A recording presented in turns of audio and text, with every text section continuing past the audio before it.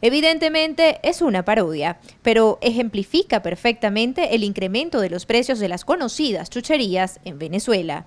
Una galleta María, 5 mil bolívares. Una chupeta, 4 mil.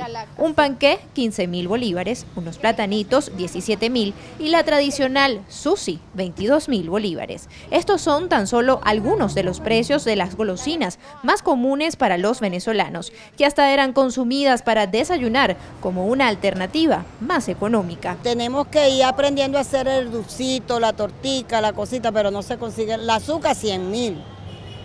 Este, la harina de trigo no se consigue. Entonces que uno hacía su tortica antes, su ponqué, para uno comerse alguno si le provocaba. En el caso extraordinario de la tableta familiar de chocolate que se vende en 100 mil bolívares, esta representa tres partes del salario mínimo en Venezuela. Como verás, no hay casi nada de chocolate, porque los chocolates están de 80 para arriba no se pueden comprar, pues, ¿y quién te los va a comprar? Es, difícil para que una persona, y para darle a un niño menos. Ellos quieren una cosa y la mamá le da lo que consigue más barato. El conocido Toronto cuesta 15 mil bolívares y representa 20 pasajes del transporte público.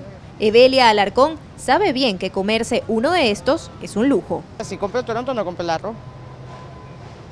Si me compro un pepito no, no compro ni siquiera porque las teticas de azúcar que venden ahorita a 4.500 bolívares.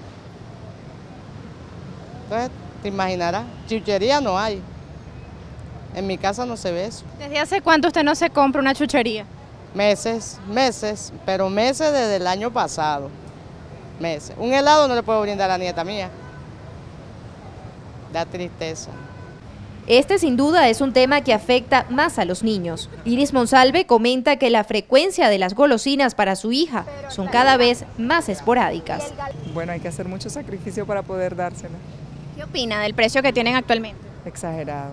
Cada vez son más los kioscos que lucen vacíos y con inventarios a medias y los precios de las conocidas chucherías inaccesibles para la mayoría de los venezolanos. Está surtido a la mitad ahorita, solamente no está completo, no está porque no hay mercancía. No, se asustan y no, no, ¿y eso por qué tan caro? Entonces, simplemente uno le dice, no, uno no tiene la culpa, el empresario o los que la fabrican son los, porque todos los días le aumentan a las cosas, todos los días. Y esta galletita la semana pasada estaba a 21 y ya le, dicen que le subieron a 40 mil bolívares.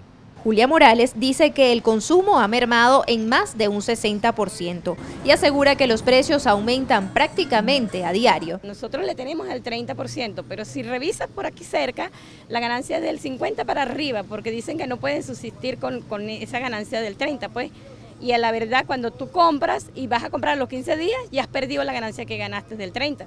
Cualquier bien o servicio que el venezolano quiera adquirir está por encima del dinero que tiene disponible, caso del que no escapan las golosinas. Víctor Maldonado, presidente de la Cámara de Comercio de Caracas, explica el fenómeno. Para el promedio de las familias venezolanas, comerse un chocolate entre todos es un lujo que muchas veces no se van a poder dar. Comprar un pan para comer entre todos es un lujo que muchos no se pueden dar. Lo único que nos sorprende es que el gobierno no se por porque esto es precisamente la esencia, la médula de una crisis humanitaria que ya vamos viviendo, pero que inclusive se va a empeorar. Que la gente haya perdido 8 kilos promedio de peso, que haya muchísima más desnutrición en niños menores de 2 años que antes. Bueno, significa que no hay forma que la familia venezolana se pueda alimentar completo y mucho menos, mucho menos pueda adquirir o consumir aquellos bienes que le resultan esenciales para su cotidianidad. Para Maldonado, los más afectados son los pequeños comercios. Una tormenta perfecta, sin efectivo, con hiperinflación, sin nada que ofrecer, bueno, los pequeños comercios sufren mucho.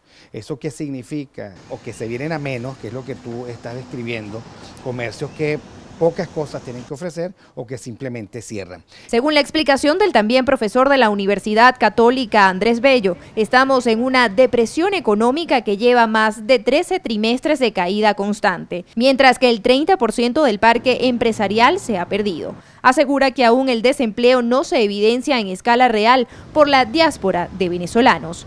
Desde Caracas, Venezuela, para Benepress, Antonieta La Roca.